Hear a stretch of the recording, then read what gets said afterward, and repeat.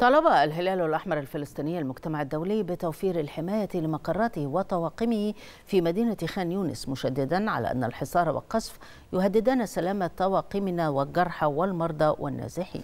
من ناحية أخرى أكدت جمعية الهلال الأحمر الفلسطينية أن طواقمها قد تسلمت 85 شاحنة مساعدات إنسانية من الهلال الأحمر المصرية ذلك عبر معبر رفح.